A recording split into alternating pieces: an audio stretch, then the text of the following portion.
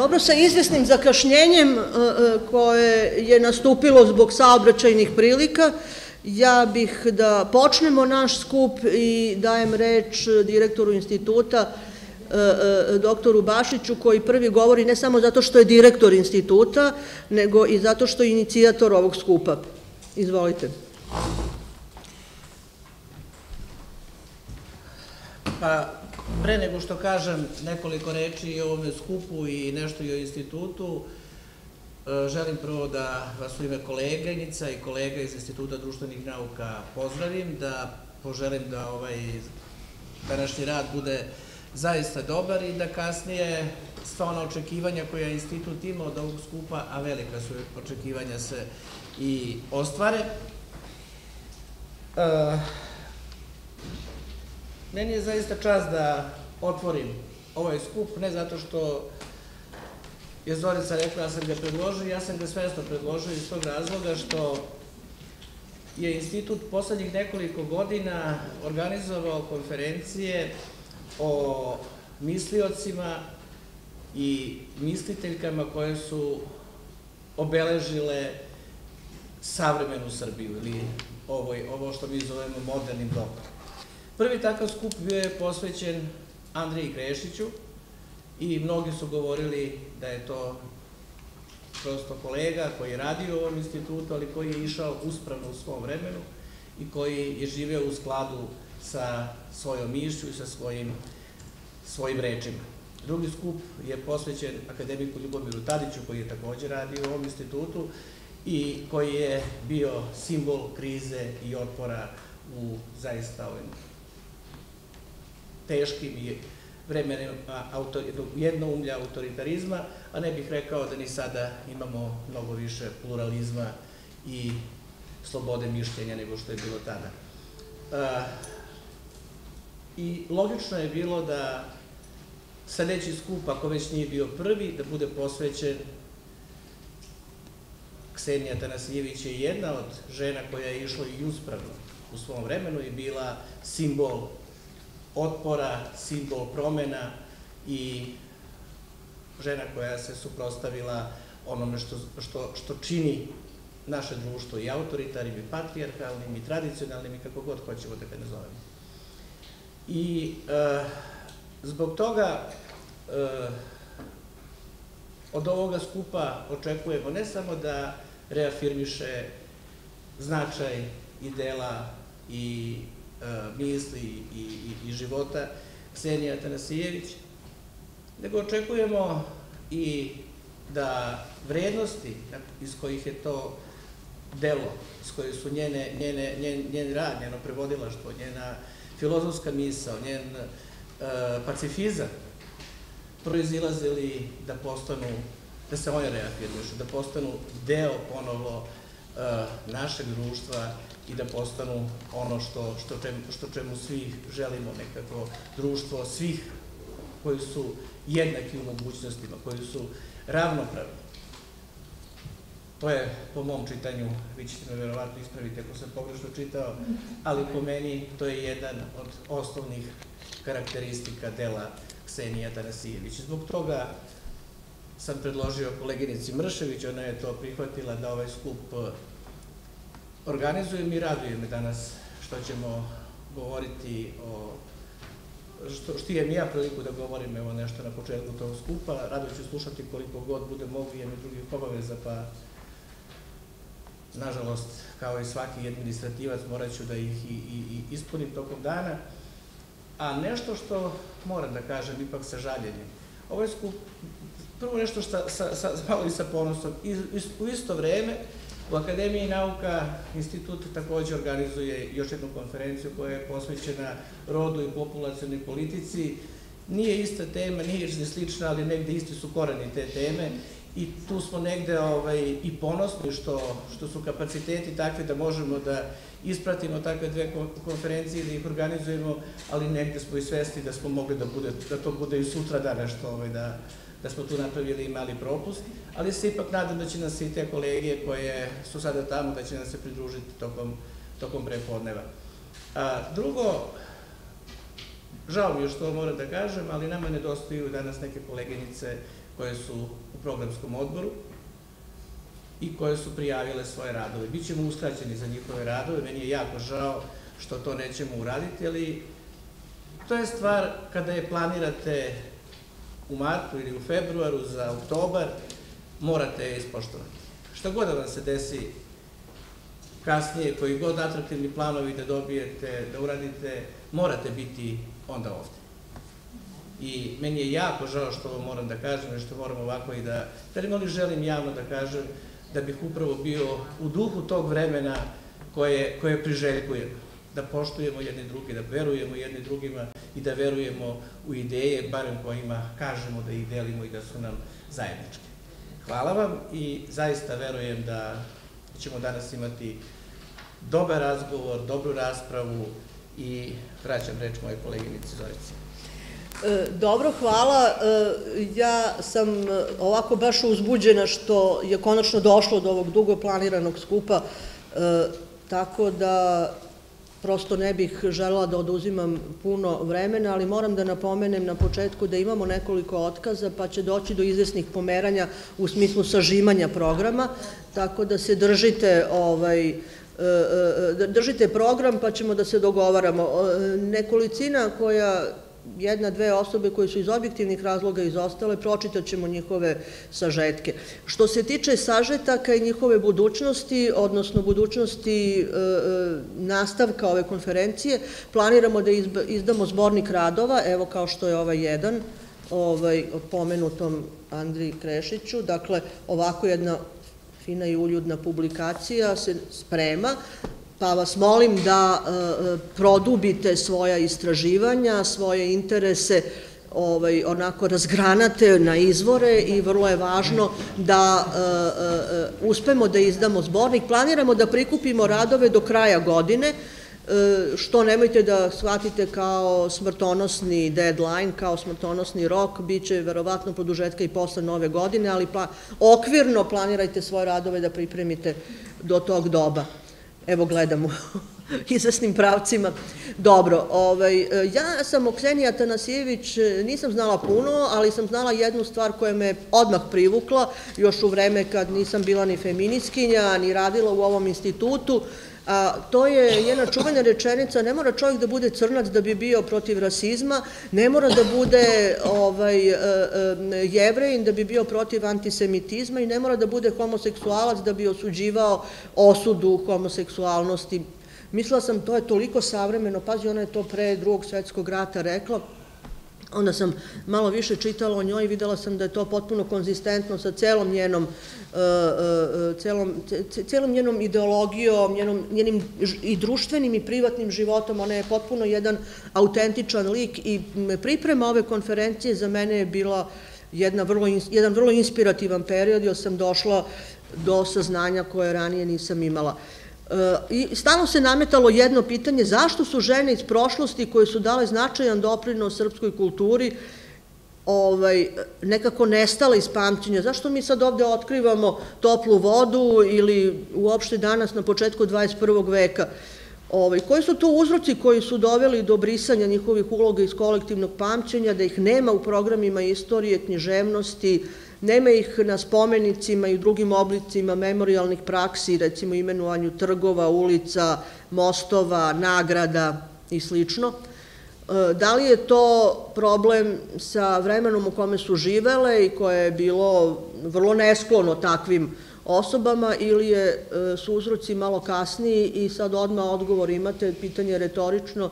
Odgovor je dala profesorka Dragićević-Šešić, u jednom inspirativnom tekstu, a uzroci su u našem dobu. Znači, sve te žene, ona pominje jedan niz drugih žena, u svoje vreme su bile priznate, u svoje vreme su bile i nagrađivane i poštovane, prosto prisutne u javnosti, e, a onda su nekako tvorci naših kurikuluma, naših e, nastavnih programa, jednostavno ih olako obrisali u vreme kada smo mi bili pokret koji je bio nejak, kada je nas bilo malo da bismo mogli da utičemo. Danas mislim da imamo jednu obavezu gde god da se nađemo, kao što je naša koleginica Biljana Dojčinović afirmisala e, jednu važnu ženu i njene putopise koji su ušli u ovaj, nastavne programe, moramo da nekako budemo spremne da više sprečavamo to brisanje i namerno negovanje, e, namerno negiranje. I šta je rekla?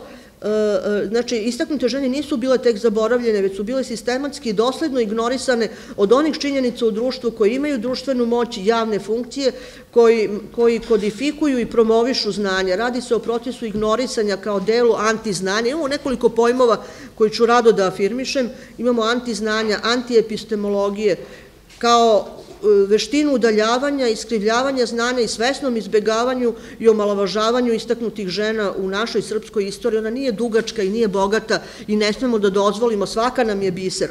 Pretvaranjem da ne postoje neki naučni i drugi izvori o njima, te da se o njima suštinski malo zna i u stvari da one malo vrede.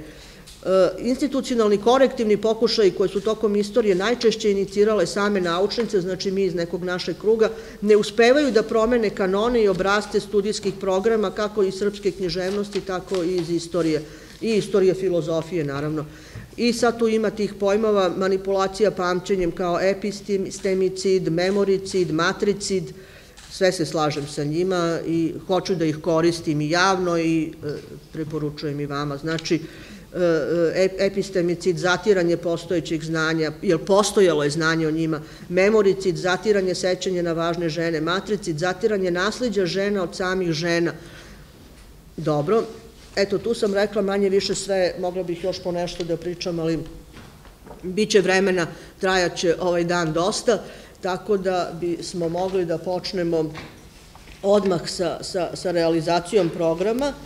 E, Imamo prva, prva, prvi panel se odnosi na savremenost, imamo ovaj, gospođu Ljiljanu Vuletić, e, e, njena istaknutost je vrlo značajna i treba da bude pomenuta, baš zato što nećemo da uđemo u fazon matrici, da naime da njenih istraživanja nije bilo, e, teško da bi se pojavile publikacije sa ksenijinim radovima i cela ta stvar danas ipak postoji u nekom naučnom diskursu na način koji je dosta plodan i omogućava nam da imamo uvid u ovaj, celu situaciju. Dakle, molim vas, e, e, koleginice Ljiljana, uzmite reč.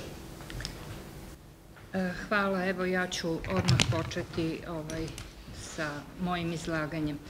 Dakle, moja tema je Ksenija Tanasijević u raljama društvenih elita i čaršije. Ksenija Tanasijević je bila višestruko obdarena, stvaralačka, uz to i avangardna ličnost. Opredelila se za studije filozofije 1912. Prva je žena koja je doktorirala filozofiju na Filozofskom fakultetu Beogradskog univerziteta 1922.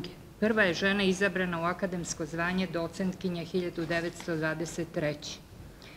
Ali javna i stvaralačka delatnost Ksenija Tanasijević, kao i njen privatni život, ostvarivali su se u permanentnoj konfrontaciji sa dominantnim, sve prožimajućim patrijarhalnim mentalitetom.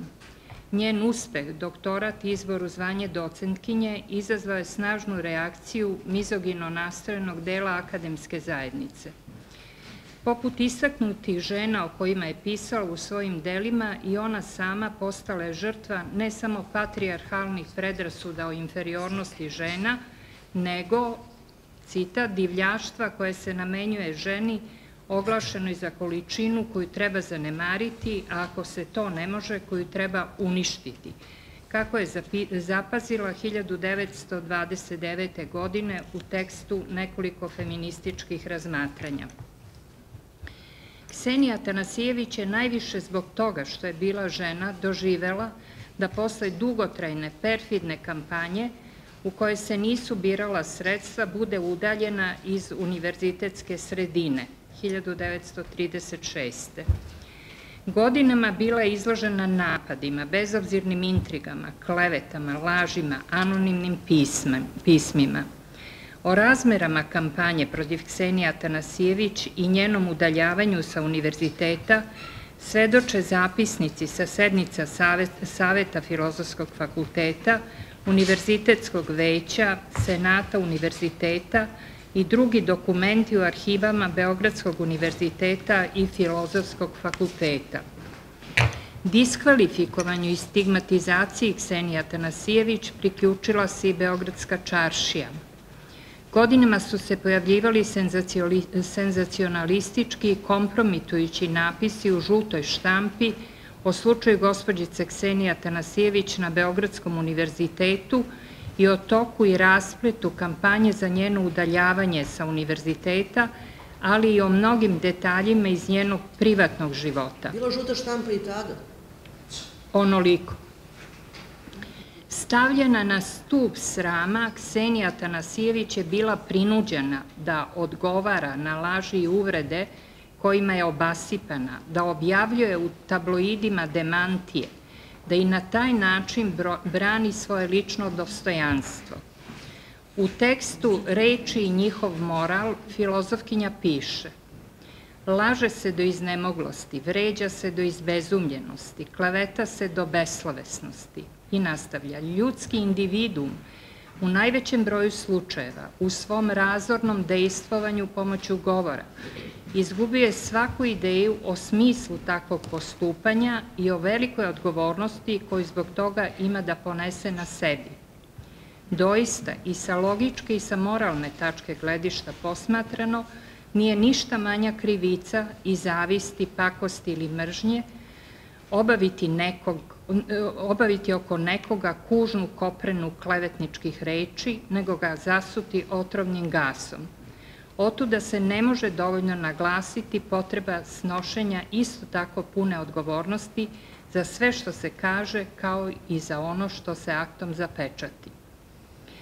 Iz dokumenta Beogradskog univerziteta, zatim iz mnogobrojnih napisa u Beogradskoj štampi protiv Ksenija Tanasijević, ali i iz tekstova u kojima odgovorni pojedinci brane profesionalno i lično dostojanstvo filozofkinje, stiče se jasan uvid u to koliko je i kakvu, koliko je i kakvu provokaciju društvu predstavljala pojava mlade emancipovane žene u javnom životu.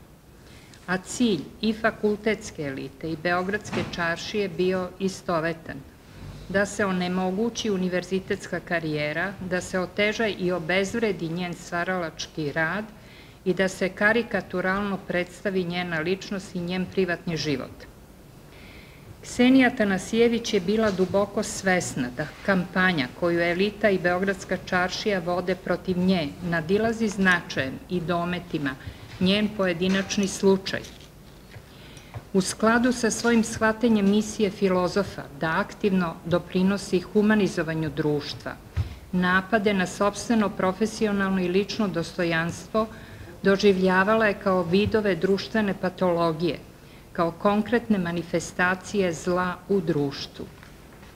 Na napade koji su dolazili iz različitih koterija, podjednako iz akademskih kao i iz čaršijskih, Ksenija Tanasijević je odgovorila serijom tekstova u kojima je precizno analizirala na prvi pogled trivialne, a u biti duboko razorne i negativne društvene pojave, kao što su intriga, laž, anonimno pisanje, kleveta, kamuflaža, lažno predstavljanje, plagijarizam, korupcija, društvena neodgovornost.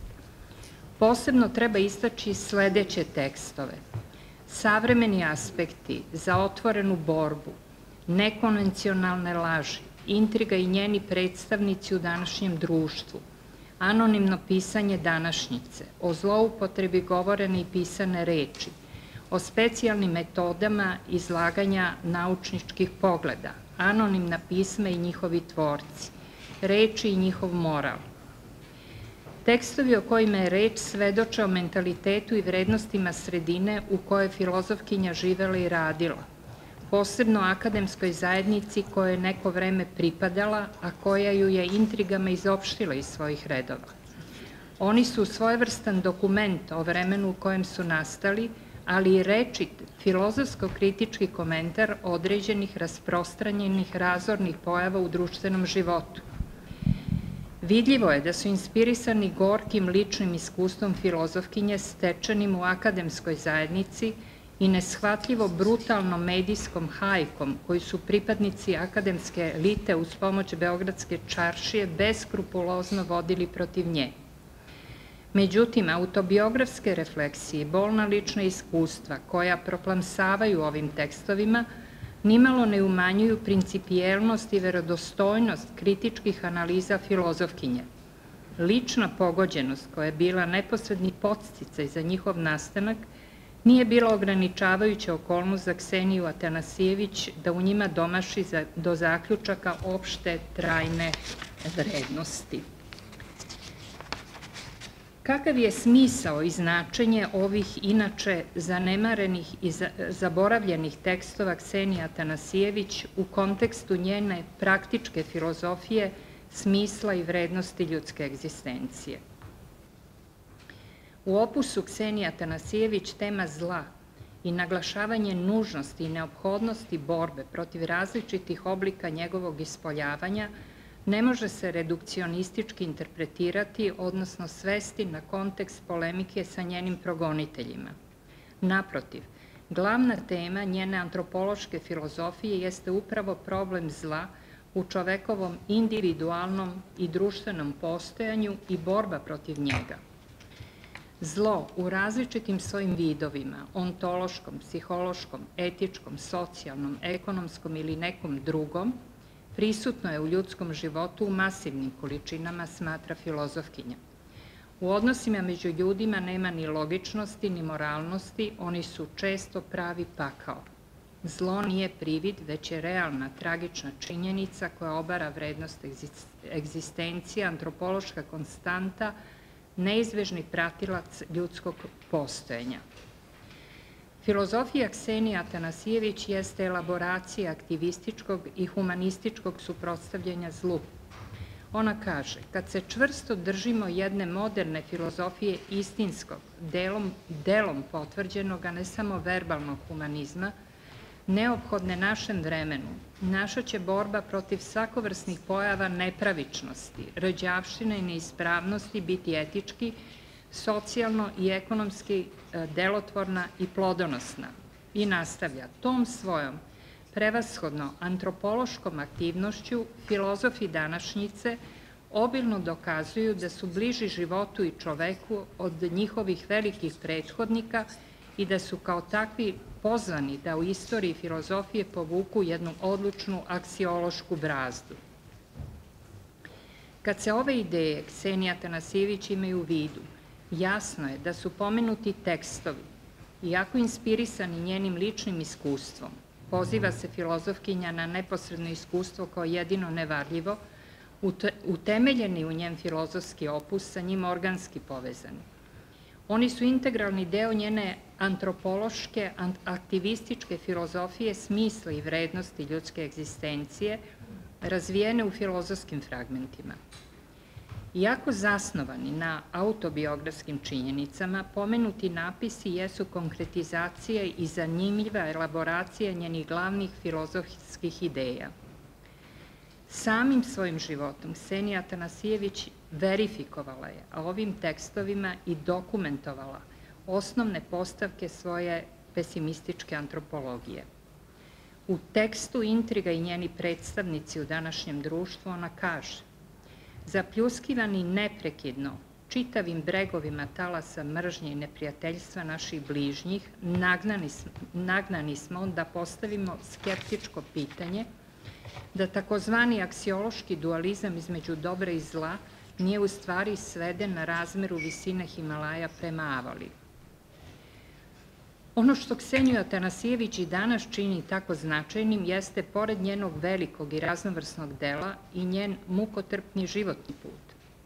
Kao feministkinja, Ksenija Atanasijević je znala da je osvajanje ženskih prava i sloboda mukotrpan, dugotrajan istorijski proces u kojem ima i zastoje i regresije, ali u kojem nema napretka bez svesnog učešća žena u njemu, bez njihovog aktivnog doprinosa.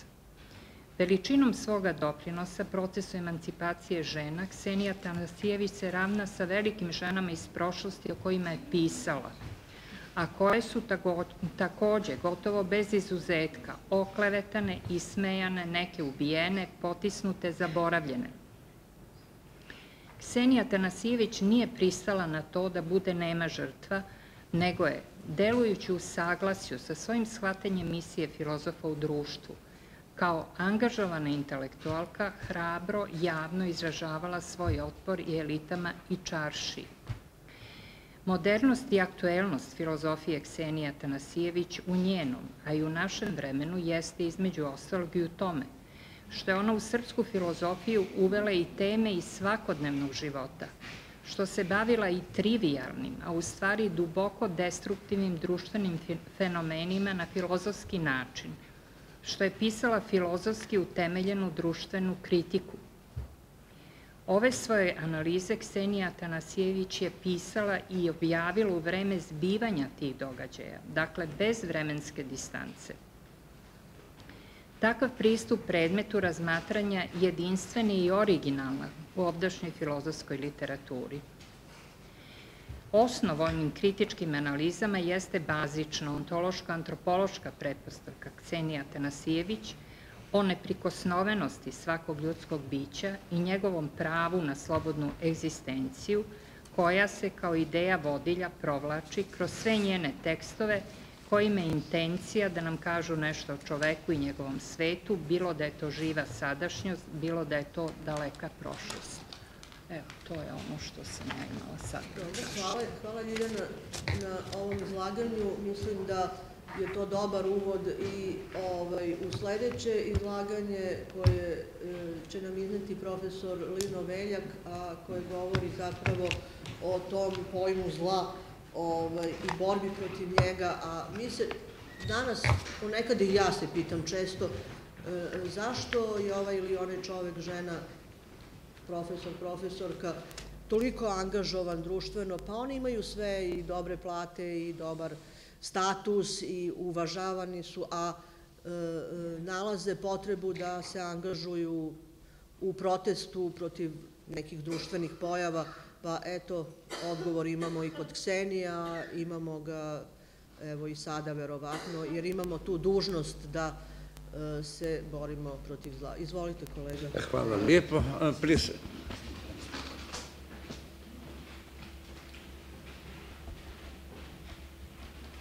U prvom redu bi vas sve htio lijepo pozdraviti i dopustite da započnem s nečim sasvim osobnim.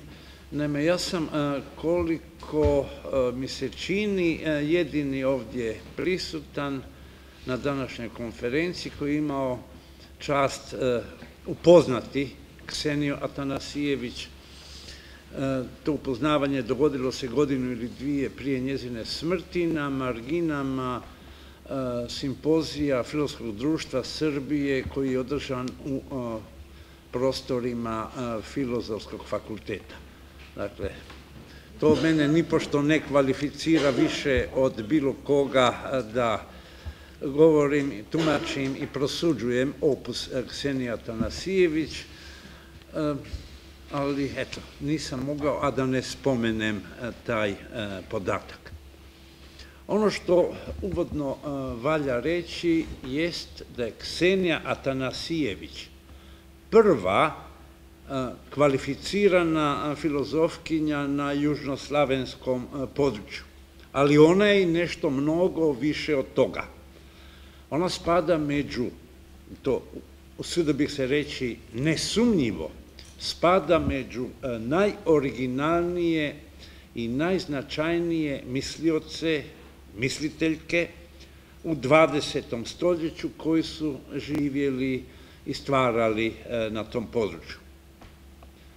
Pritom e, valja naglasiti da njezin opus nije, još uvijek nije adekvatno e, vrednovan, a nadam se da će ova današnja konferencija predstavljati jedan važan iskorak e, u smjeru adekvatne i potpune valorizacije, premda niti današnji skup nema nikakve šanse da označi kako je posao na tumačenju i vrednovanju opusa Ksenije Atanasijević priveden svom kraju. Njezina aktualnost, aktualnost njezina mišljenja i aktualnost njezina opusa ostat će sasvim sigurno i u budućnosti, te će onda u tom smislu predstavljati izazov i budućim generacijama istraživača i istraživačica i onima koji će se moći htjeti i trebati nadahnjivati njezinim mišljenjem. Danas je Ksenija Atanasijević nažalost poznatija kao žrtva akademske mizoginije, nego po svojemu bogatom opusu. I dobro je da se zna sve ili mnogo toga o progonima kojima je bila izvrgnuta u prvom redu zato jer se kao žena usudila ući u prostor tada rezerviran isključivo za muškarce. Dobro da se zna već i zbog toga što je danas rodna ravnopravnost u akademskom području nešto što se gotovo podrazumijeva, što ne znači da je ona dovedena do savršenstva, što ne znači da nema još uvijek ponekad i ponegdje mizoginije, ali upravo je Ksenija Atanasijević prokrčila svojom egzistencijalnom žrtvom put u ovo današnje, odnosno naravno period između dva svjetska rata, mnogo i bitno bolje stanje.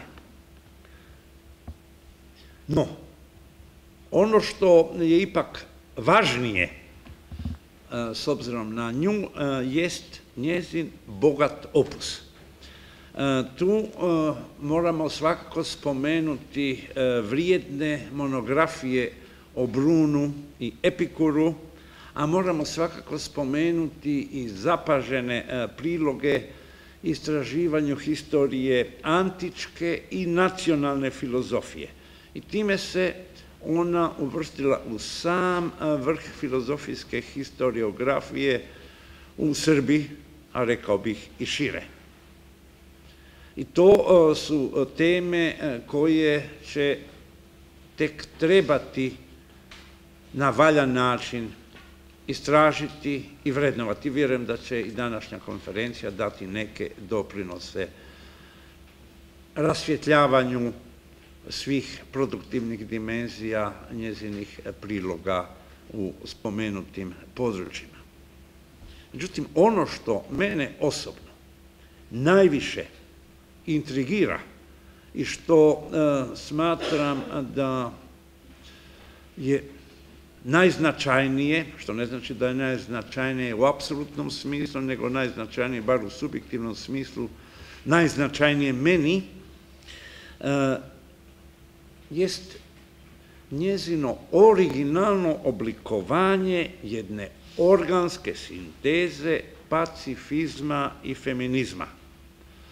I ta sinteza svojim dosezima, a svakako također i svojom aktualnošću, daleko nadmašuje granice ovoga malo prije spomenuta, spomenutoga južnoslavenskog prostora, te stoga zaslužuje odgovarajuću pažnju i na globalnom planu. I vjerujem da će budućnost, bude li u budućnosti čovečanstva i bude li filozofije, i tu prazninu ispuniti, dakle, na globalnom planu. Tu sintezu, dakle, sintezu pacifizma i feminizma je ovdje prisutna uvažena kolegica Ljiljana Vuletić s punim pravom imenovala etikom hrabrosti. I kada se hoće vrednovati misaone i praktičke domete etike hrabrosti, mora se uzeti u obzir upravo njezina aktualna globalna relevantnost. A ta relevantnost se u prvom redu sastoji u njezinom anticipativnom razrješenju alternative između etike odgovornosti i etike brige. Obje etičke pozicije boluju od jednostranosti, a zastupnici i zastupnice tih pozicija rijetko uviđaju i još rijeđe e, priznaju e, njihovu jednostranost, pa se onda zapliću ponekad u neplodne rasprave o tomu treba li ustrajavati na postulatima po mišljenju zastupnika i zastupnica, druge strane navodno patriarhalne, a u svakom slučaju muške, etike odgovornosti, ili se pak treba opredijeliti za navodno žensku, pa time onda i potencijalno, ako već ne i aktualno feminističku, etiku brige. Naravno da je ta alternativa još jedna u nizu lažnih alternativa. Da bi se vidjelo o čemu se tu radi, e, trebalo bi uzeti u obzir što se zapravo tim dvijema etičkim koncepcijama hoće reći. Počnemo s etikom odgovornošću. Prema Maxu Weberu etiku odgovornosti treba e, razlikovati od etike uvjerenja. I tu se naravno onda postavlja pitanje po čemu bi etika odgovornosti bila muška? Ako etika odgovornosti znači da individua preuzima odgovornost za sve predvidljive posljedice svojega činjenja, te da je onda u etiku odgovornosti impliciran, u etici odgovornosti implicirano i to da individua u svojem djelovanju daje apsolutni primat moralnom zakonu, pa i po cijenu žrtvovanja svojih legitimnih, egzistencijalnih i drugih interesa. U tom smislu etika odgovornosti predstavlja zbiljsku antitezu etici uvjerenja, dakle onoj etici koja naglašava nužnost ispravnog djelovanja neovisno o posljedicama koje bi iz tog djelovanja proizašle, a za koje individua nije odgovorna, nego su odgovorni Bog, priroda, sudbina i slično. Fiat justicija, pereat mundis. Dakle, etika odgovornosti predstavlja ukidanje takve višestruko problematične etike uvjerenja. A etika brige pak, kao moralno-filozofijska koncepcija koja vrednuje ljudsko djelovanje s obzirom na pažnju koja se tim djelovanjem i u tom djelovanju e, pridaje potrebama drugih ljudskih bića, nije u kontradikciji s etikom odgovornosti. Već, pravo suprotno, etika brige predstavlja konzekventnu realizaciju temeljnog principa odgovornosti. I upravo je to e, primarno u svojim e, manjim člancima koje je kolegica e, Vuletić rekonstruirala, pronašla, uredila i koji su onda objavljeni u knjizi pred par godina publiciranoj pod naslovom Etika hrabrosti, upravo predstavlja realizaciju toga i pokazuje se dakle u e, tim člancima na koji način su etika e, odgovornosti i etika brige komplementarne, na koji način se one nadopunjuju i zbog čega je isključeno e, da bi se te dvije etičke koncepcije, bilo teorijski, bilo praktički, bilo nekako drugačije, smjele suprotstavljati. Uglavnom, temelj te sinteze etike brige i etike odgovornosti, sinteze koja je po mnogo čemu i u globalnim, a ne tek u lokalnim i regionalnim razmjerima do dana današnjega nenadmašena, temelj dakle te odgovornosti valja pronaći u najdubljem korijenu njezine životne inspiracije. Dakle, u njezinoj odluci da se suprotstavlja zlu u svim pojavnim oblicima u kojima se zlo uh, očituje. Ona prepoznaje i ona odlučno i odvažno osuđuje očitovanja dominantne patriarhalnosti, očitovanja koja su vidljiva i u rasprostranjenoj kulturi intrige i ugovaranja. Ona upozorava na puzajući fašizam 30. godina prošloga stoljeća, prepoznajući ga posebno u širenju antisemitizma. Ona, ona konačno odbacuje svaku vrstu dogmatizma, uključujući i religijski dogmatizam, i to unatoč e, svojoj sinkretičkoj religioznosti, uslijed čega su je dogmatski materialisti marginalizirali e, nakon e, drugoga svjetskog rata.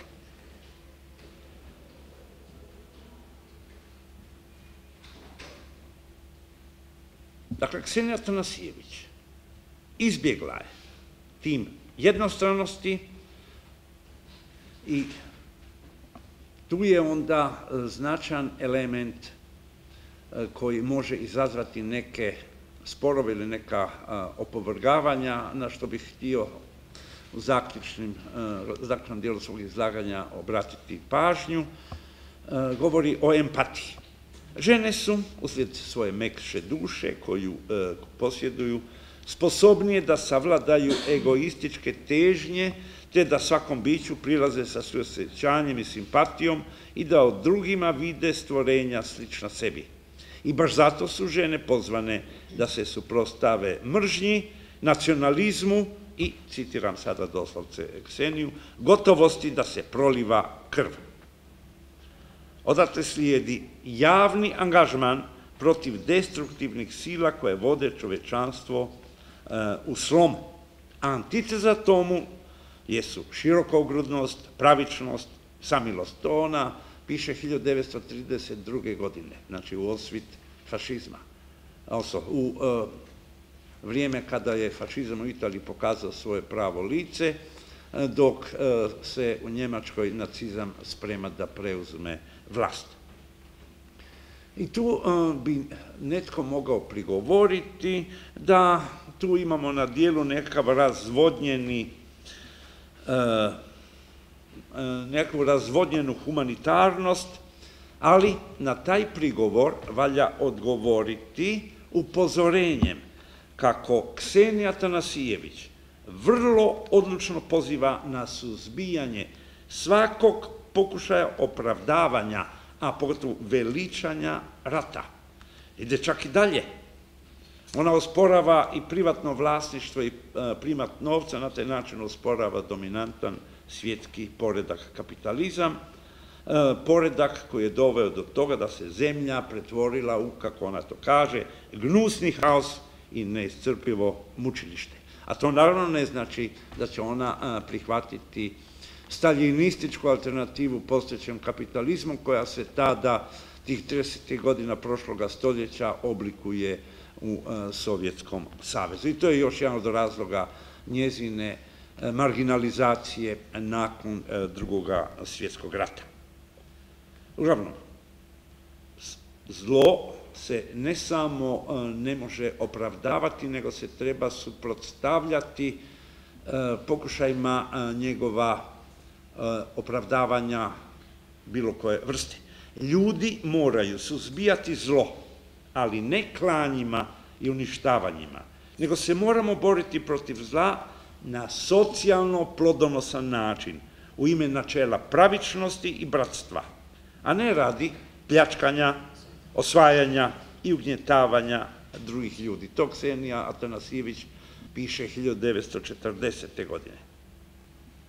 I dakle, kao što sam već spomenuo, ona ide i dalje od osude rata, ona ide do kritike logike profita. Oslobođenje od služenja mamonu nužan je uvjet za to da se ljudskom rodu ukažu bolji vidici. Malo tko, to je moja završna rečenica, malo tko je uočio povezanost autoritarnog sindroma patriarchalne tradicije s militarističkim e, nasiljem kao što je to učinila Ksenija Tanasijević.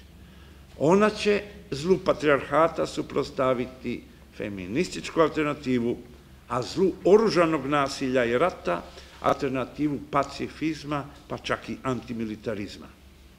Jedinstvo feminizma i pacifizma dodatno je onda potvrđeno i njezinim životom, u kojemu je dosljedno i odvažno, ne tek pisanje, već također i praktički i aktivistički pokazala kako se može suprotstavljati raznovrsnim oblicima zla.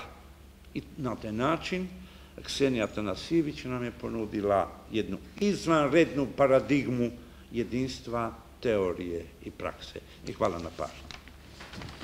Ja se takođe zahvaljujem e, profesoru Linu Veljaku za ovo e, e, izlaganje koje povezuje Kseniju sa današnjim dobom, sa nama danas i napominjem, kao što će u mom sledećem izlaganju biti, govorit ću o ženskom pravu glasa, ona koristi termine koje mi danas i kategorije koje mi danas takođe, koje su danas kroz aktualni, to je i feminizam, i ženski pokret, i pacifizam, Žensko pravo glasa je njen termin, mi bi rekli pravo glasa žena, ali mislim ta stvar je prosto jedna te ista. Znači, e, sve vreme zapravo otkrivamo, bacajući pogled u prošlost, koliko je ona, koliko je važna njena prisutnost danas. Jer nismo počeli od juče, nego eto imamo i Kseniju kao važnu prethodnicu. Ja ću sada sebi dati pravo, pravo glasa.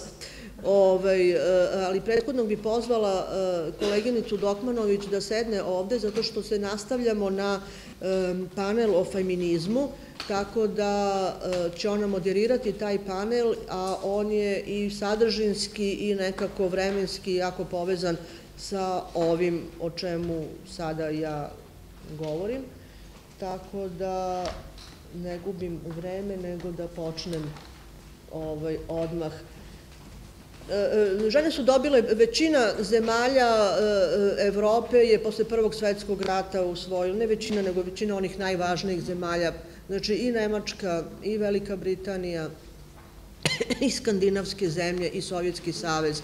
Dakle, dobili su posle Prvog svetskog rata. Mi smo bili nekako u tom kulturnom zamahu, ali imali smo jake protivnike i Tu postoji neophodnost jedne kontekstualne analize, tako da e, su žene Žene nisu dobile pravo glasa posle Prvog svetskog rata u zemlji, zajedničkoj zemlji koja se zvala Kraljevina Srba, Hrvata i Slovenaca, a kasnije i Kraljevina Jugoslavija. E, donet je zakon do duše 1939. godine koji daje ženama pravo glasa, ali nije došlo zbog diktature, nije došlo ni do jednog izbornog ciklusa, tek posle drugog svetskog rata na krilima novog sistema i pod uticajem sovjetske ideologije došlo je do prava glasa žena.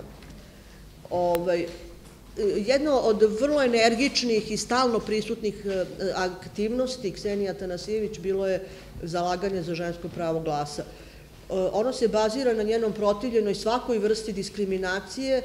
Vi znate da ona uzima kao polaznu osnovu da su muškarac i žena po prirodi ravnopravni predstavnici ljudskog roda. Njena koncepcija o uzdizanju žene do slobodne ličnosti i ravnopravnog člana društva zasnovana je na etičkim principima pri čemu je posebno poklanjala pažnju upravo na položaj i prava žena.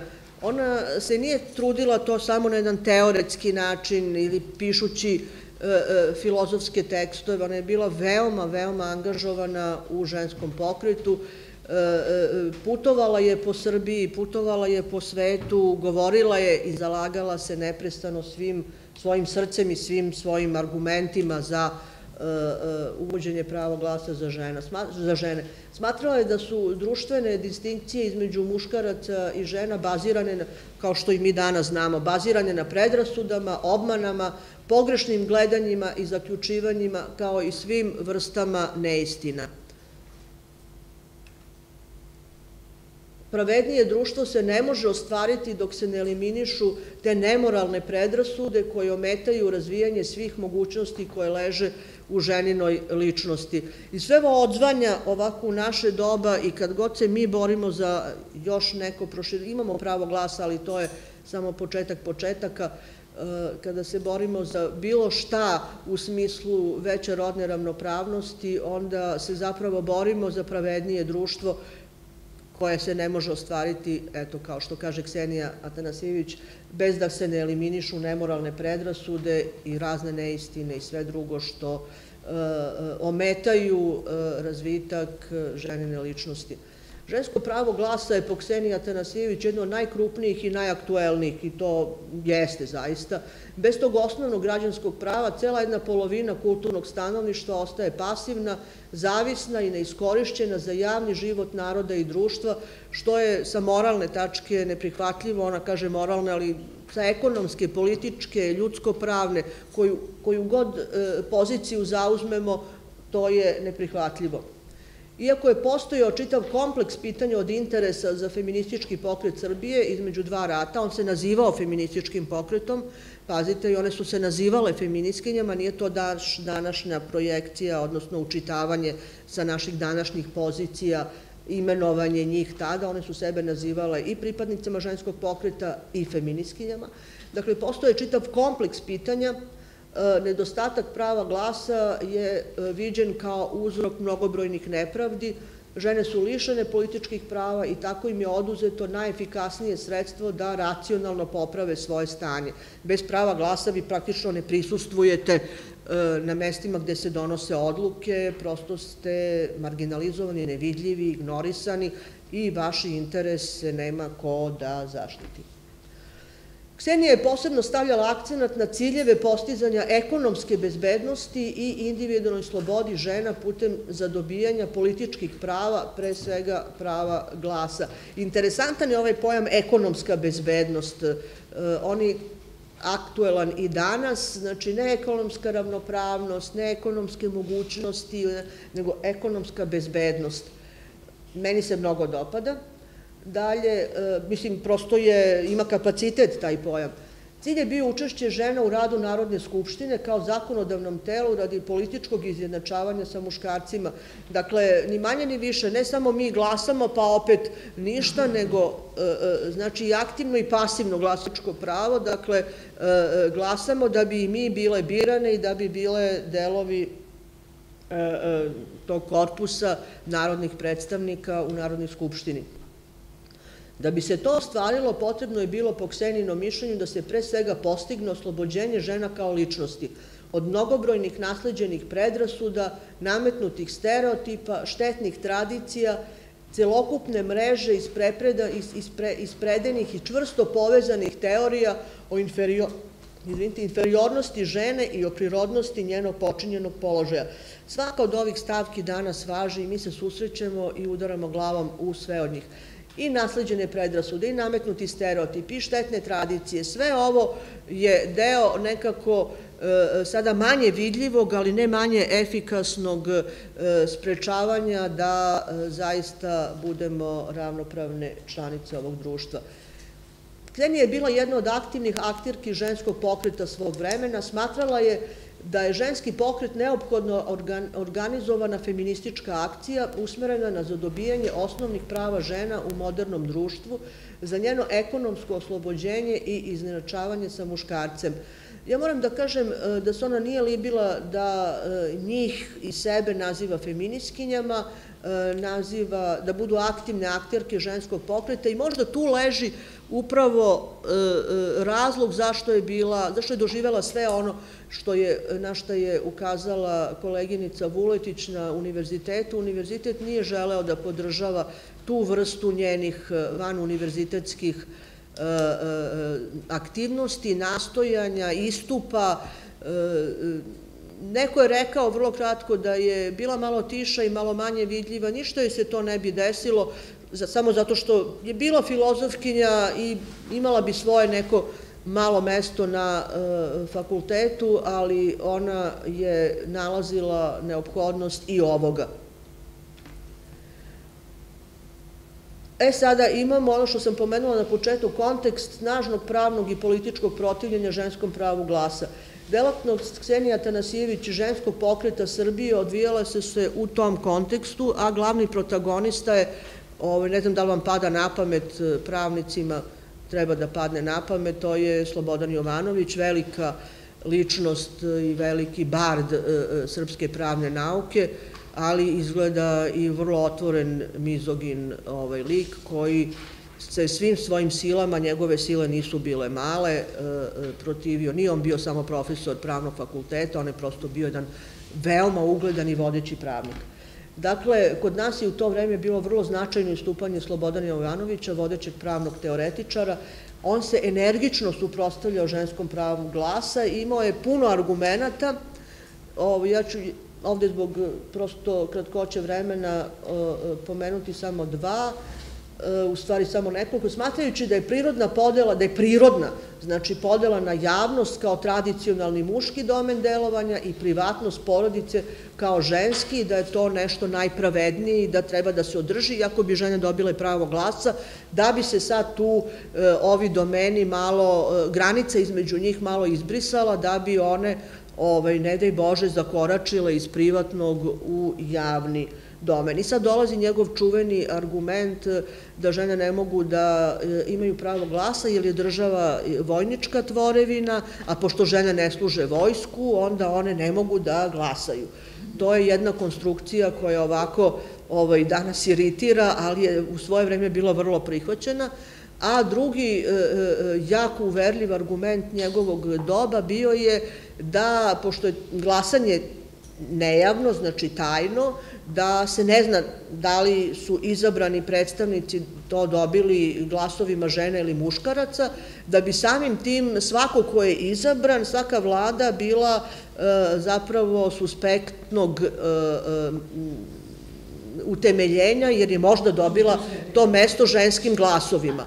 Ovaj, tako da, e, to su bila njegova dva glasa, to su bile dve zastave, dve perjanice protiv ženskog prava glasa. Znači, ovo ima, imate to sad napisano. E, e, dalje on je smatrao da žene ne mogu da se izdignu da porodičnog egoizma, jer njima vladaju emocije, a ne razum. Dalje je smatrao, dočim muškarcima vlada naravno samo razum i o egoizmu nema pomena. Muškarci i žene nisu nikakvi rivali, tako da su ženski interesi dobro, pošteno i već sasvim dovoljno zaštićeni od strane muškaraca. E, da, tada nije postojala ta međunarodna kategorija participativne demokratije gde se kaže da svaka društvena grupacija mora da bude reprezentovana, inače nema e, e, prave demokratije, ali kažem, on je jako zakočio, da ne kažem unazadio tada put e, Srbije, ako ne i cele zemlje. E, to je bilo vreme kada su mnogi ljudi studirali u inostranstvu, donosile ideje e, progresivnog, demokratskog sveta i ja verujem da bi Srbija imala pravo glasa pre drugog svetskog rata, ali tu je postojao jedan džin koji to prosto nije dozvoljavao sa ovim, ovim ovaj, ovim razlozima. Moram da pomenem još jednog, ovaj, zvao se Milenko Vesnić, on je isto dosta snažna politička, ne pravna ličnost, mislim ne u smislu e, pravnog teoretičara, on je govorio da mi previše volimo, mi muškarci, previše volimo žene da bi dozvolili da njihova nežna bića uđu u tu arenu ovaj, gde mi moramo da se borimo i za njih i za nas. On je bio ministar policije i mislim da je bio i premijer u nekom na, ali bio je stalno prisutan e, stalno prisutan Ljajić. Dobro.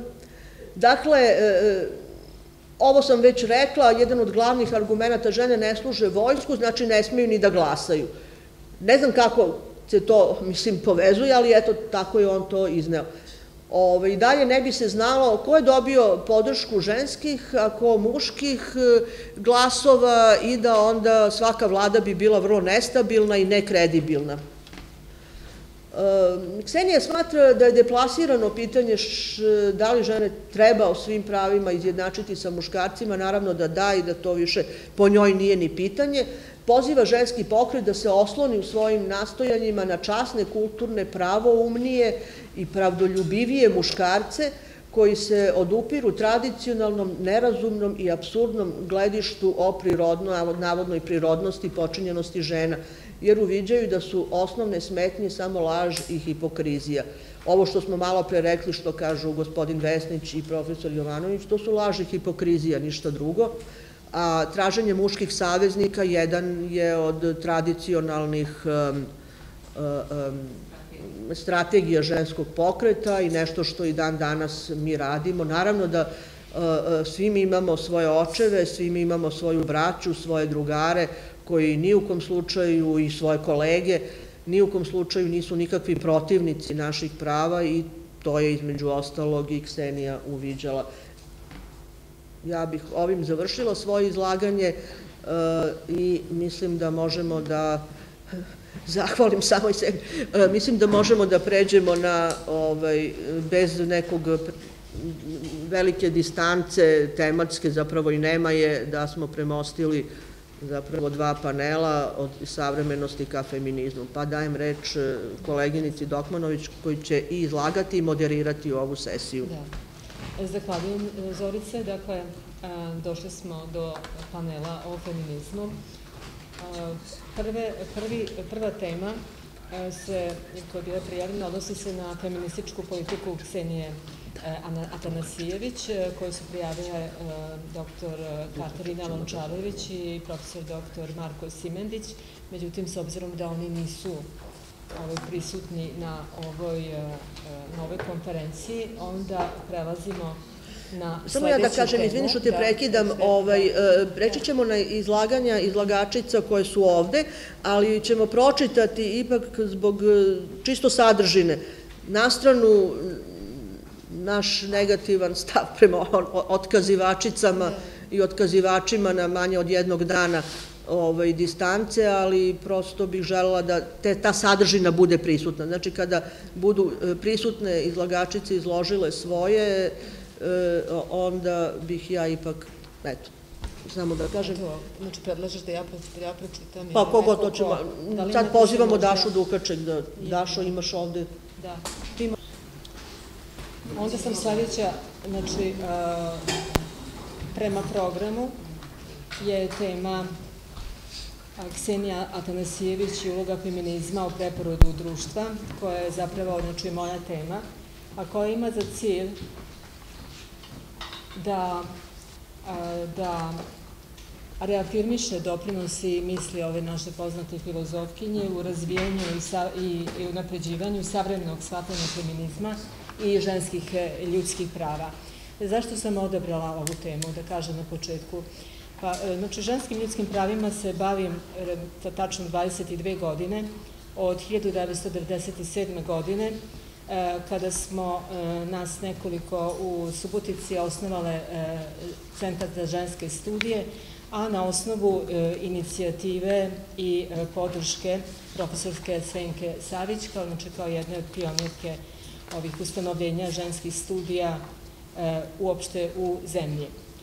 I čitavši znači, ovo, znači, delo Ksenije Atanasijević, prosto sam se iznenadila koliko su mnoga pitanja koje ona pokreće, zaključuje i dan danas aktuelna.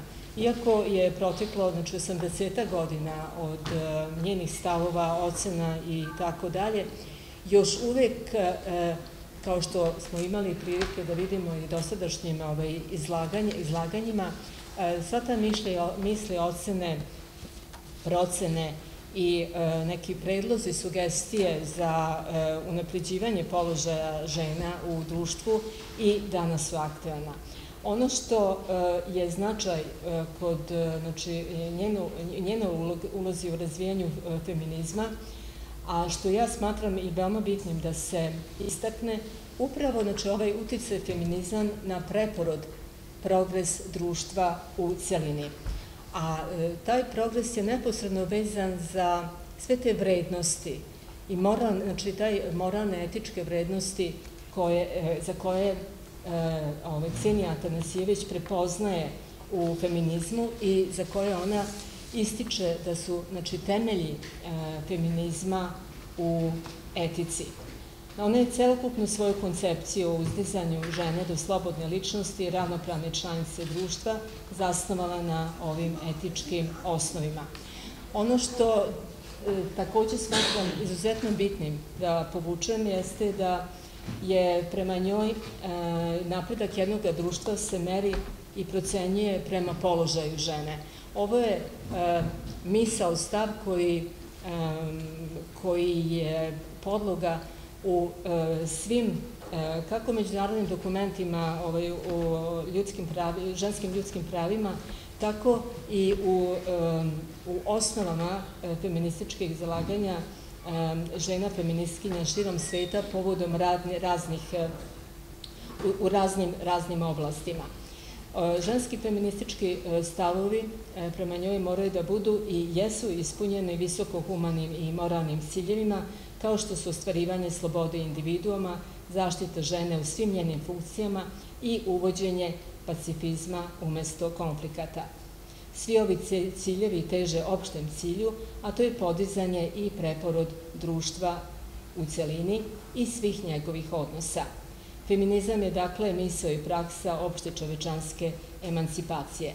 I zbog toga je e, Atanasijević toliko insistirala na etičkom zasnivanju feminizma i naglašavala da se visoki ciljevi feminističke ideologije mogu dostignuti samo moralnim načinima.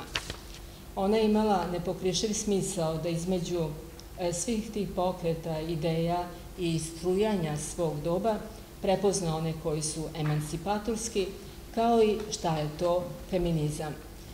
Ona je ukazala e, na to da šta je uzrok e, što su pojedinim zemljama žene došle do mnogih položaja i ostvarivale neka i svoje prava, a u drugim zemljama to nisu i još udalje su u podređenom položaju.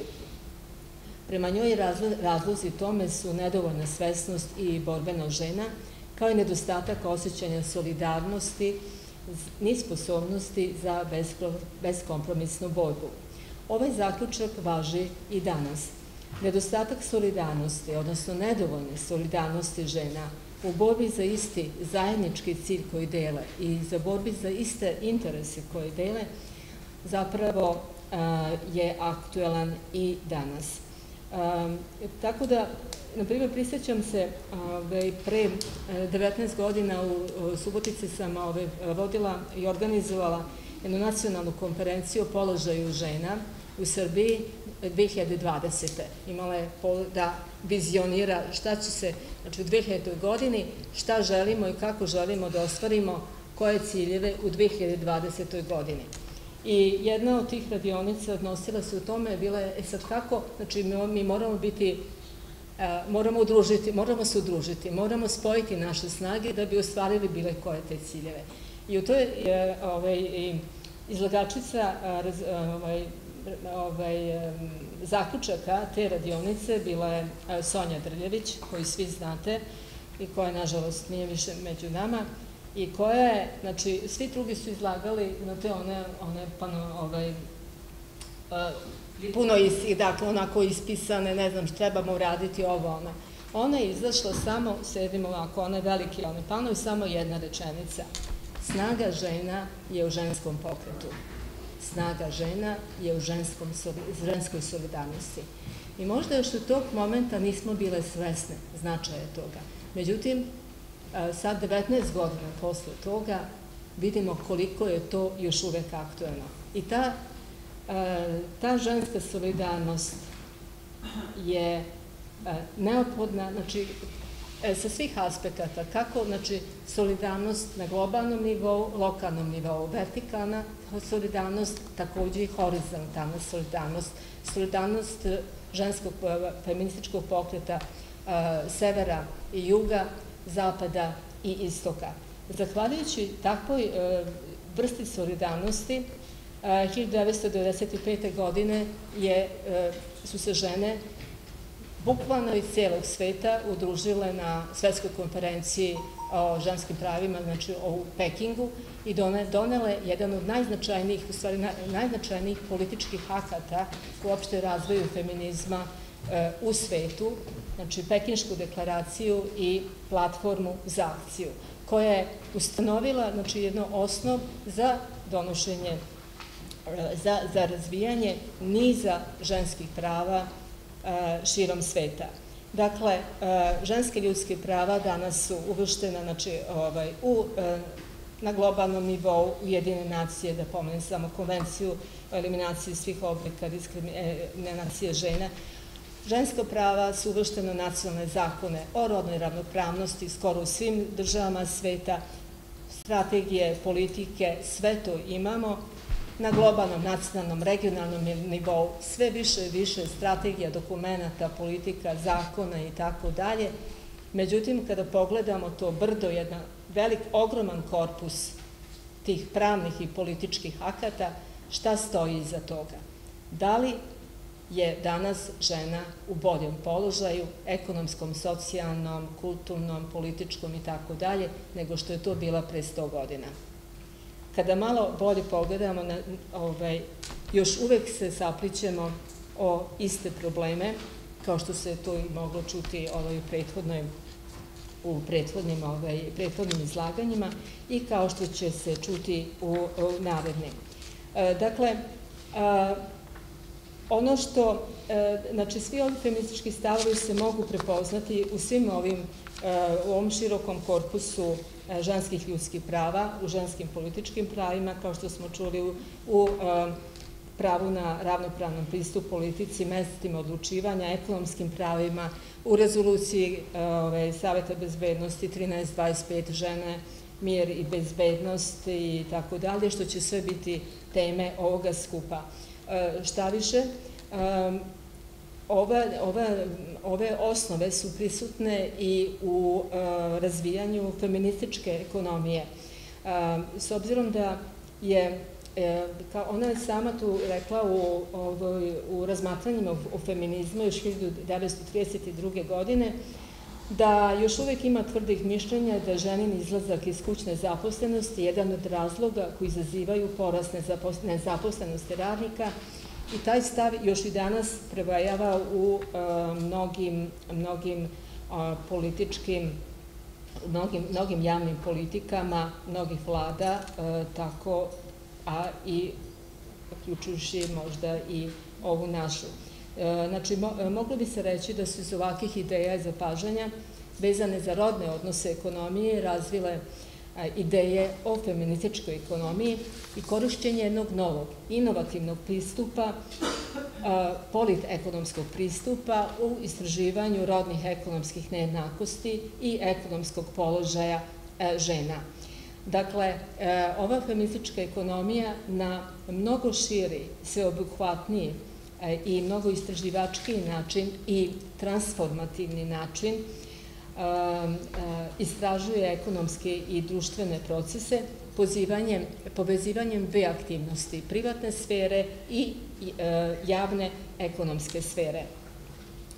Znači, feministički pristup ekonomije je uspeo da sagleda ekonomske fenomene sa znatno šireg društvenog, političkog, humanističkog i etičkog stanovišta i da pruža mogućnosti drugačijeg promišljanja ekonomske i društvene stvarnosti.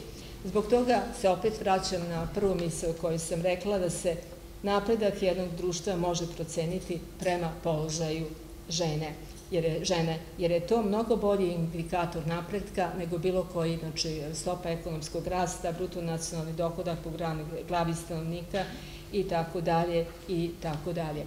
Tako da se, znači, sve ovo, znači, i moji, moje nalazi iz proučavanja njenog dela, kao i ono što što se vide, može videti u priloženim akstraktima, pokazuju da su njene ideje još uvek sveže i aktualne i da mogu da doprinese i da, i da napređivanju položaja društva u celini.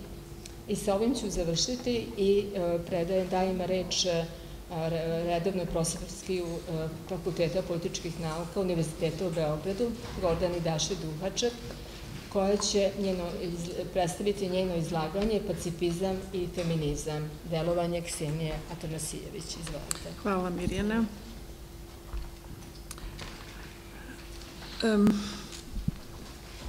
Ja hoću za početak e, da se zahvalim organizatorima, odnosno Institutu društvenih nauka i Zorice Mršević na naporu koji je svakako morao biti uložen da bi se ovakav jedan, čini mi se, veoma, veoma značajan skup održao.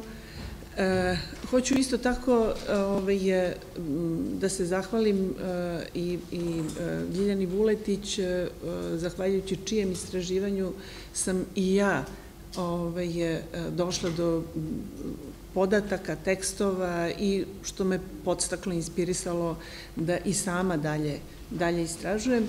I još jedna ovaj, zahvalnost, uh, ja ne znam da li će danas izlagati Vera Mevorah, ovaj, je, uh, što mi je žao, ona je pomogla da dođemo do jednog, ne samo ja, nego ovaj, i ostali koji su zainteresovani do jednog teksta ovaj, koji, za koji smo mislili da možda ne postoji, da je izgubljen i tako dalje.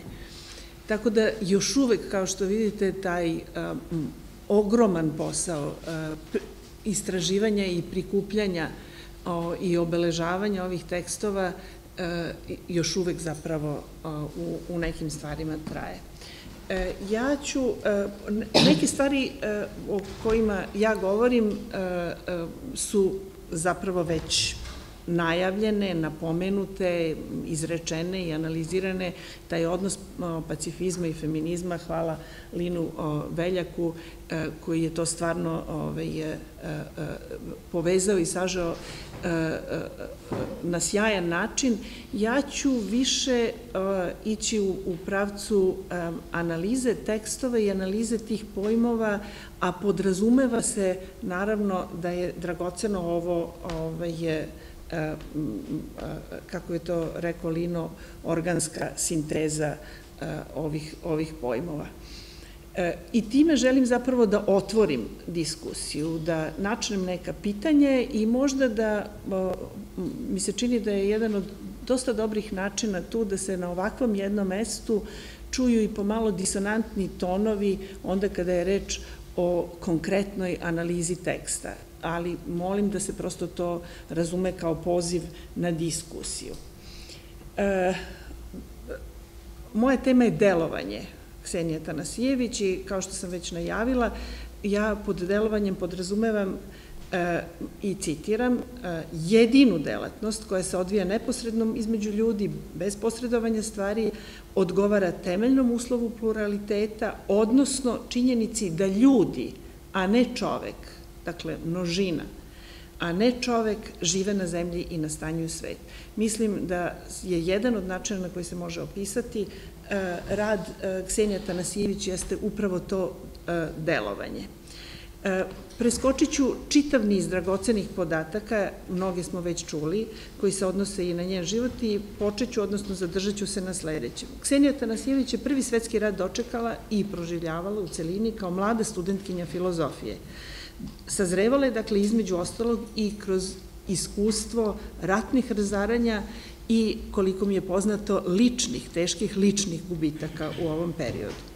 Ne dugo posle toga ona u svojim tekstovima artikuliše ne samo jasno protivljenje ratu, ratovima, već i svoje opredeljenje imenuje kao pacifizam. To opredeljenje je razvijala dosledno u čitavom nizu tekstova, meni se čini najviše u, u drugoj polovini 20. godina, ali svakako i kasnije, tako da bi u oči samog početka drugog svetskog rata 40. godine zaključila mudrost o svetu mora odbaciti sve vrste ratovanja. I dodaje, posmatran sa gledišta eminentno filozofskog mišljenja, rat se pokazuje kao jedna od najodvratnijih, najbezobzirnijih manifestacija sebičnosti, zaslepljenosti, i svih vrsta i rodova negativnosti koje su sudbonosno ukorenjene u ljudsku prirodu. Argumentaciju u prilog tom opredeljenju ona određuje pozivajući se na filozofiju, u velikom broju tekstova, kao i na religiju, u onom tumačenju kome smo već čuli ovaj, danas, dakle ne dogmatski, I to oslanjajući se, kako ona sama kaže, na mislioce, predstavnike mudrosti, verske propovednike, dakle na one koje ona smatra i izdvaja kao najblagorodnije. Ja se ne bih sada zadržavala, to je čitavo onda sada jedno polje analize koje bi trebalo da idu u tom pravcu.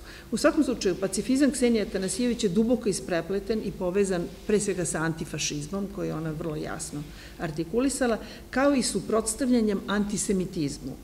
Oba ta opredeljenja su ključna, dakle, za njen pacifizam, a i za vreme u kome je postavila temelje svojim filozofskim, političkim stanovištima i najzad i svom feminizmu.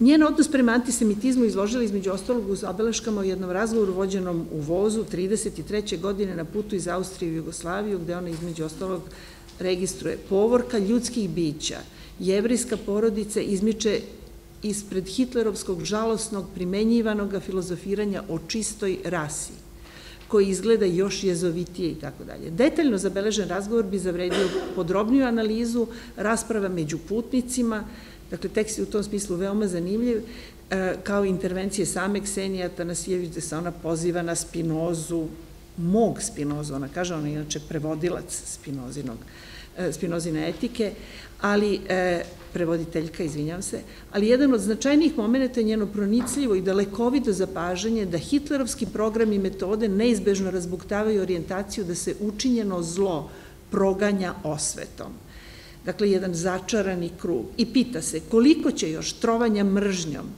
i snovanjima odmazde izazvati.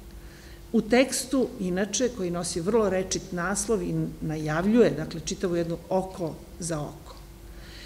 E, drugačiji ton, iako takođe osuda hitlerovske politike, je i u tekstu objavljenom nešto kasnije, krajem 36. godine u Beogradskim jevrijskim novinama. I to je onaj tekst do koga smo došli juče, ovaj, posle traganja u koju je uključeno dakle više, više osoba. Kratak je tekst, tako da nije bilo ovaj, problema oko toga da se i on u ovoj prilici pomenje.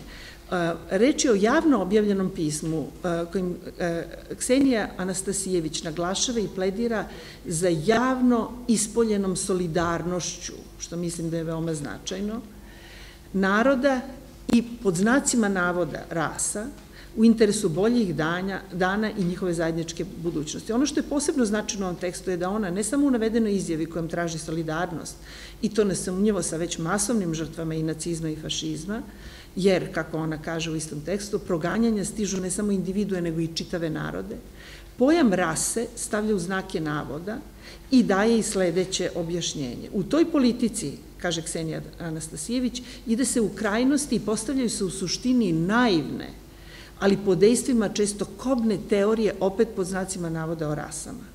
Određujući kao naivne, ona ove teorije vidi kao sasvim neuverljive, neutemeljene i ide kao osporavanju postojanja rasa. Ona, dakle, za razliku od mnogih savremenih teoretičara i teoretičarki, jasno prepoznaje rasizam. E, dalje istraživanje bi zapravo išlo u pravcu odgovornosti. Odgovornosti intelektualaca, etike odgovornosti i etike brige, o čemu je već bilo reči. A uvođenjem pacifizma na mesto političkih konflikata krvavih posledica, jednom reču moralnim osvežavanjem, žene su ispunile svoje feminističke programe, visokočovečnim ciljevima, ostvarivanjem slobode individuuma, dakle ovde već uh, uh, se i eksplicitno vidi veza između pacifizma i feminizma, toga ima dosta, ja sam evo jedan moment pomenule, prema tome ona smatra da je pacifizam neodvojivi deo feminizma i kaže svi stepeni razvitka feminističkog pokreta pokazali su se kao feministički. O tome bi se takođe dalo, dalo diskutovati. U svakom slučaju feminizam zauzima ključno mesto u njenim opredeljenjima, ja sada izvinjam se što ponavljam, to je pre svega etičko stanovište, jedna od najpoznatijih izjava je u tome, tome u prilog jeste njena tvrdnja da su feministički zahtevi težnje nazidani, kako ona to kaže, na duboko moralnim temeljima. Osim toga, feminizam je eminentno idealistički pravac i opet to je još jedan od pojmova o kome bi se dalo raspravljati. Međutim, iz načina na koji ona razvija svoje određenje, vidi se da ona zapravo po tim podrazumeva da je ličnost neprikosnovena, kao i pravo svake ličnosti, apsolutno pravo na slobodu. E, I ovo se pominje na više mesta, e, i između ostalog i, i to, o tome isto bilo već reči, ontološke temelje feminizma. Na primer, izveštavajući sa konferencije žena za mir i razoružanje u Beogradu 31. godine, navela je u nizu sažetaka svih izlaganja i kratko predstavljanje svog saopštenja, gde ona kaže da je Ksenija Anastasijević utvrdila da se pokret žena da dođu do svojih prava osniva na ontološko-moralnom temelju. Drugi termin koji je veoma značajan u njenim e, e, pretpostavkama jeste pojam individue, ona dakle pominje i taj pojam često, koji se prema njenom mišljenju izvodi, citiram, kao distinkcija između ljudi koja leži u njima samima. Opet tu je moguće povući paralele i sa drugim e, teoretičarkama. E, da li se iz ovoga što je do sada izrečeno možemo, da li zapravo uopšte ima potrebe i pre svega koliko uopšte odgovara kontekstu da izvodimo zaključke o eventualnoj pripadnosti Ksenija Anastasijević bilo kome, bilo koje od osnovnih orijentacija koje su jako retroaktivno, dakle više od pola veka kasnije, e, registrovane u feminizmu. Da li bi onda to recimo značilo da je ona e, iako tada o tome nije bilo reči, ove, je u to, posebno ne u toj kategoriji, e, pripadala liberalnom ili građanskom feminizmu uz sve zasluge koje naravno i ta orijentacija ima. U tom smislu treba imati u vidu e, da je u vreme Ksenija Anastasijević terminom feminizam označen jedan vid delovanja tek relativno kratko vreme. Dakle, sam termin ulazi u upotrebu svega 40 godina pre nego što ga je ona prvi put upotrebila. Dakle, tu je negde, jer termin feminizam, dakle, nije ni postojao sve do pred kraj 19. veka. U tom kratkom periodu svog imenovanja opredeljenje označeno tim terminom steklo je više neprijatelja nego pristalica. E, ovde treba uzeti u obzir e, i u odnosu na sve one, e, šta to znači, u odnosu na sve one žene koje su se borile za ženska prava, ali na drugačijim ideološkim pretpostavkama, jer one su bile savremenice Ksenija Anastasijević, tako što su smatrale da su neophodne temeljne, čitaj revolucionarne promene u društvu, a ne samo reformski procesi, A po terminom feminizam i feministkinjama su one podrazumevale tada one zapravo, i to je eksplicitno rečeno u pojedinim tekstovima, u ovom slučaju navodim Aleksandru Kolontaj, koje su klasno privilegovane, tako da već tu imate termin feminizam koji se izgrađivao u, u određenom i ideološkom pravcu. Ksenija Anastasijević inače pominje Rusiju kao citiram, zemlju gde su žene samim padom režima došle do svojih prava i u tom smislu tu i odaje priznanje. Ima uh, još. Još jedna samo uh, digresija i terminološka uh, napomena i pretpostavljam da tu samo podsjećam na ono što smo svi već manje više ovaj, primetile primetili, a to je da ona u svojim tekstovima koristi opoziciju čovek-žena ljudi žene.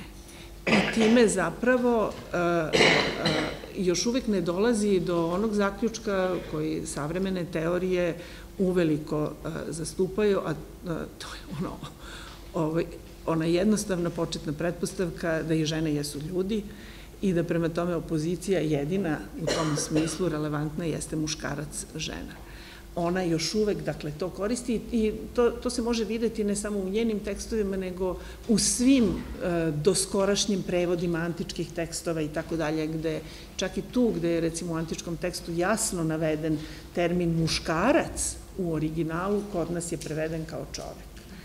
E, tako da, mislim, ona je u tom smislu e, tu.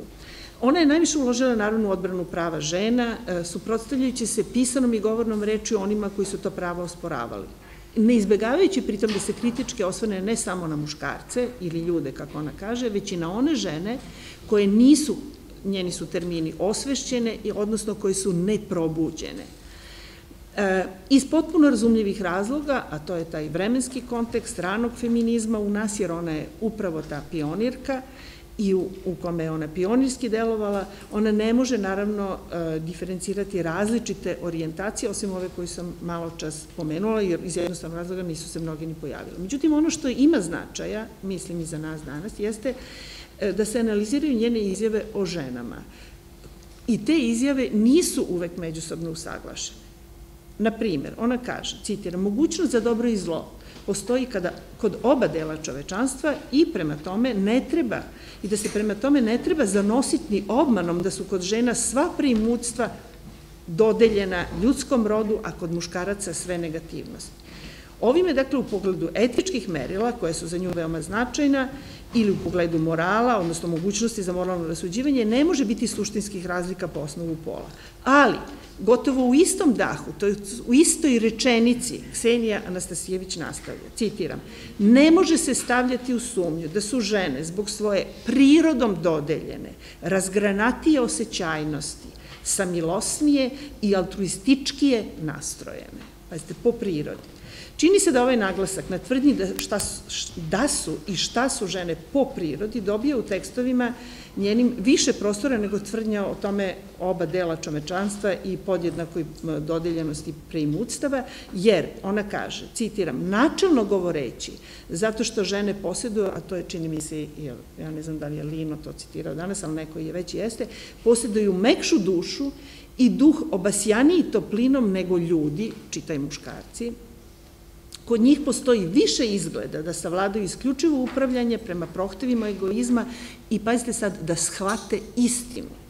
Žene, dakle, po prirodi imaju više mogućnosti, ne samo za moralno delovanje, da se u tom smislu suprotstavljaju egoizmu, već su im čak i saznajne mogućnosti veće, utoliko što mogu da shvate istinu. Ima i drugih mesta gde ona kaže, kao mater feministkinje, dakle kao majke, će uliti u krv svojoj deci istinu. Da ljudi ne postoje na svetu zato da ubijaju, dakle sve su ovo e, zapravo njene pretpostavke za e, okrenutost ka altruizmu, za okrenutost ka pacifizmu, ali ona kod žena jasno vidi da su one po prirodi u tom smislu više ovaj, žene razumeju bolje od ljudi, čitaj muškaraca i tako dalje. Ona svakako nije jedina koja, kada je reč o ženama, smatra da žene imaju suštinu. Ima i danas tih teoretičarki. I to unapred, prirodom datu, dakle ona ih esencijalizuje. To je dakle nešto što može da bude predmet rasprave. U tom smislu ona pripada onim feminističkim teoretičarkama i filozofkima koje u naporu da pridobiju bar neke koji su kolebljivi ili one koji se čak najgrublje suprotstavljaju ženskim pravima, dakle, te teoretičarke i filozofkinje se i danas oslanjaju na pretpostavke koji bi se možda u raspravama bez te dodatne napetosti inače odrekle i polaze od toga da žene imaju unapred utvrđenu i determinisanu suštinu. E, ovo stanovište e, ona naravno iznosi u sklopu utemljenja svoje pacifističke i feminističke pozicije, kao da time ojačava svoju argumentaciju. S druge strane, kao i mnoge druge pionirke feminizma, kao što je, na primjer, Mary Wollstonecraft i tako dalje, ona se bavi razmatranjem značaja koje vaspitanje ima, e, čak i nezavisno od toga da li je reč o, kako ona to kaže, o privrženicima slobode ili protivnicima njenim. I zapravo već time ona omekšava i svoju eventualno esencijalističku poziciju, jer ona u ovome uočava da postoje, e, e, ono, dakle ona polazi od toga, izvinjam se, da postoje dva merila za vaspitavanje muške i ženske dece, da je svakako razlika u tome što se jedni pripremaju za samostalan život, a drugi za počinja, a druge za počinjavanje i zavisnost. U tom smislu jedna od osnovnih prepreka za vaspitanje, u, u, u procesu vaspitanja, onako kako je bilo u njeno vreme, jeste vaspitavanje za udaju, vaspitavanje za brak, vaspitavanje za materinstvo i ostajanje naravno u tim okvirima. Ostavljajući po strani i mogućnost redke izuzetke, e, Ksenija e, Anastasijević zagovara vaspitavanje za samostalnost. Pa bi pod znak, pa bi, citiram, blagotvorno bilo da vaspitavanje metodično e, istre, dakle, e, eliminiše, i izgladi sve tragove dalekih potčinjenosti žena, da ona ima karakterističan jezik, i da im ulije nepokolebljivu i dragocenu svest o neprikosnovenosti svakog korisnog i ispravnog individualnog života. Samostalno, dakle, šta su vaspitni ciljevi, posebno kada je reč o ženama? I osnovne vrednosti. Samostalna važnost, izrađena i prekaljena ličnost, duhovna razbuđenost, unutrašnja vrednost žene kao ljudskog individuuma. E, ima još, ja mislim da, da ne bih sada prekoračila vreme, ima još tih mesta koje bi mogle biti predmet diskusije i sporova. E, a, ona recimo um, ove je, ima izjave da a, kada govori o kontekstu žene, ženske borbe za prava i o preprekama koje ne zavise od samih žena, shvatanja o ženi, kaže, ona vodi poreklo od mentaliteta Turaka. I to iz vremena kada su Srbiju naravno držali pod obručjem vlasti. Na, uz ogradu i izrečitu napomenu da današnji Turci imaju simpatija za feminizam. Naravno, ono što ona onda opisuje, to je jedna tradicionalna patriarhalna paradigma. Taj pristup u navođenju argumentacije u prilog borbi za ženska prava, e, e, koji može biti razumljiv za vreme u kome je nastao iz perspektive današnje i razvijene osetljivosti za svaki odnos prema drugom ili drugačijem, je nedovoljno osvešćen u pogledu pojedinih izjava za koje se nakon pažljive analize pokazuje da nude zapravo pojednostavljena objašnjenja. I, sam, I sama Ksenija Anastasijević u tom pogledu u istom tekstu izrazila nedoumicu odnosno na svoj prethodni stav kada pominje psihološku zanimljivost da se iz, iz ovih ideja koje su tradicionalističke, antimoderne, patriarhalne, drže i ljudi nesvesni toga da oni za njih i da nailazimo na primere da se za ženom postupa kao sa nižim bićem i kod onih koji ne razvijaju nikakve teorije da je zaista tako i koji se nikada nisu zapitali da li je u istinu tako. Dakle, opet je reč o mehanizmima e, e, e, patriarhalnih paradigmi. Ona se ne izdvaja ovde opet u odnosu na mnoge druge feministkinje, posebno rane feministkinje, gde ta nedovoljna osetljivost koja je istorijski bila prisutna u pokretima žena za njihova prava. Poznati su, na primjer, primjeri žena u Sjedinjenim američkim državama koji su se, iako organizovane abolicionistkinje za pravo glasa, borile rasističkim argumentima. I tu se može Elizabeth Cady Stanton, to danas Bell Hooks navodi i tako dalje. Ili, recimo, objašnjenja Hane Arendt o nastanku nacizma, koje su bila apsolutno evropocentrična.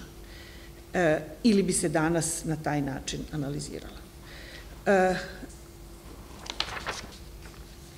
Ovo čitanje, naravno, ne dovodi i ove, ovi momenti ne dovode ni na koji način u pitanje nesumnjiv značaj Ksenija Anastasijević.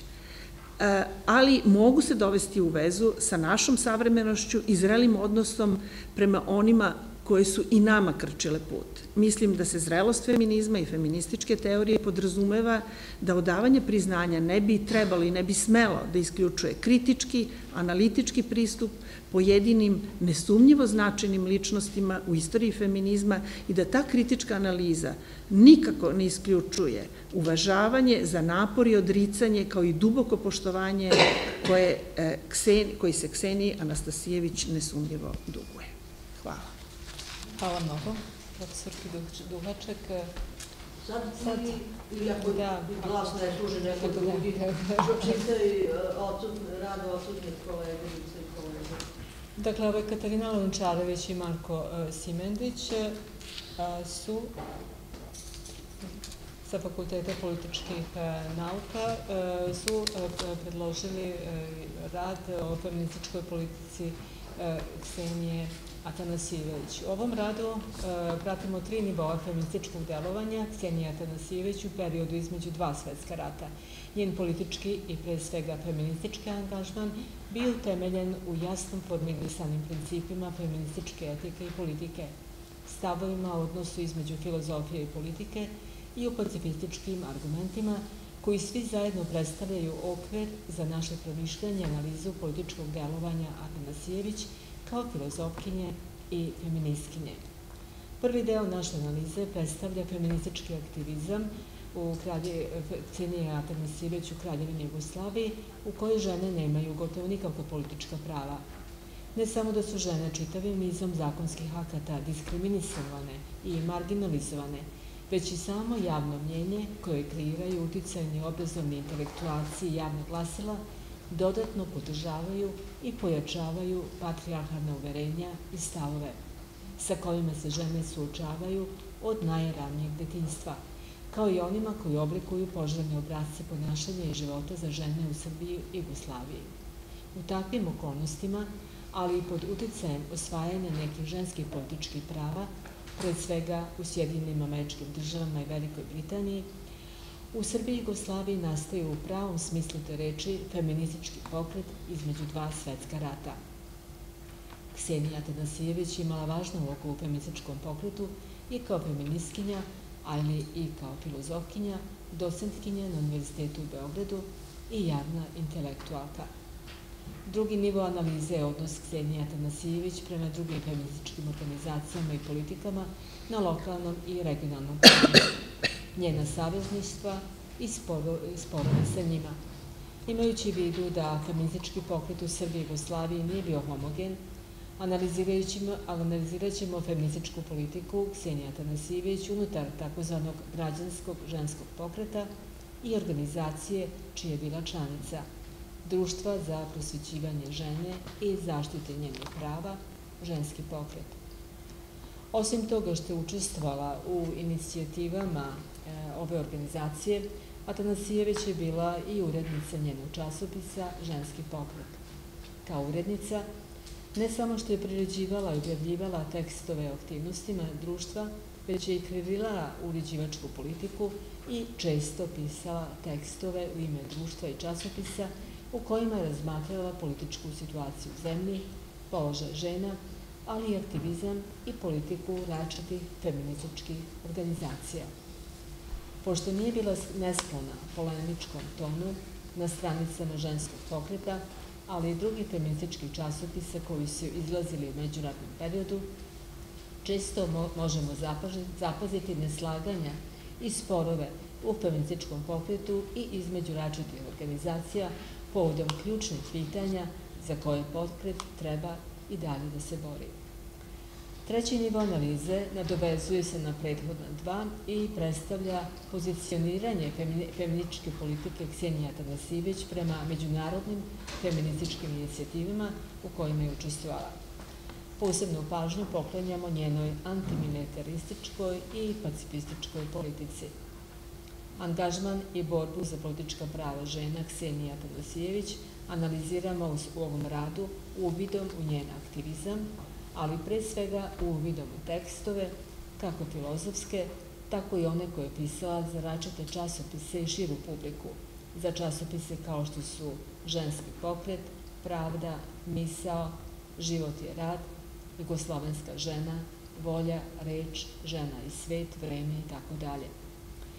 Kako bismo ukazali na jasne etičke, političke i feminističke stavove kojima se rukovodila tokom svog angažmana u feminističkom pokretu i političkom životu.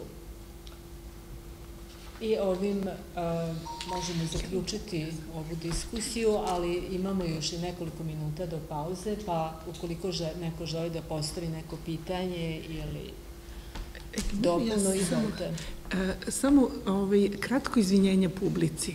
E, verovatno sam u brzini više puta omaškom ovaj, pogrešno izgovorila prezime Atanasijević. Ovaj, tako, da, iz, izvinjavam se. Samo u brzini da, da bude što pre i onda... Ovaj, dakle, ukoliko... Da, da, da, da, da. Ovaj, e, e, u nekoliko ovih govorila si o istini. O, o Aha, ima. Ali mislim da vi filozofkinje tu istinu ovaj, malo drugačije poimate od onog što je svakodnevni govor. A istina takođe je vrlo važna u njenom religijskom razme, koja takođe ima svoju, da tako kažem, isto, istoriju. Da. Zato mislim da se ove, e, ona može nekako odbraniti ovaj, u tim njenim sudovima o ženi, ovaj, prvo zato što je jedno drugo teorijsko bilo razmišljanje, a i drugo je što je ona, ja mislim, ovaj, stalno imala tu svoju o, terminologiju svoje struke, tu profesionalnu, znači, i kad je ti baciš u to interdisciplinarno neko drugo polje, onda ovaj, mi nju malo drugačije razumemo. Ja imam isti taj problem u sobstvenom, ovaj, e, zato te pitam sada, da li možemo tu reč istina kod nje malo drugačije shvatati. Eto tako da pitam. Sigurna sam da možemo. Ja, da? Sigurna sam da možemo.